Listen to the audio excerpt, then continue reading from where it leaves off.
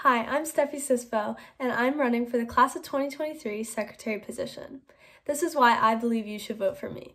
I'm extremely organized and good at managing time, which is what being secretary is all about.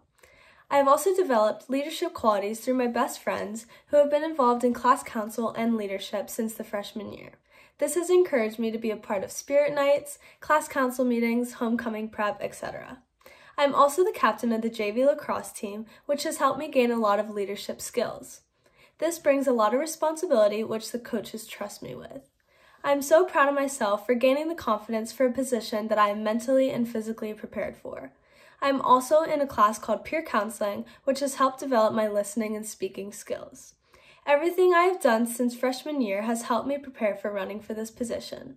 As you can see, I'm a very hands-on student at Lake Brantley High School and would fit this position perfectly. Thank you for listening, and don't forget to vote for Steffi Sisfo, Class of 2023 Secretary position. Thank you.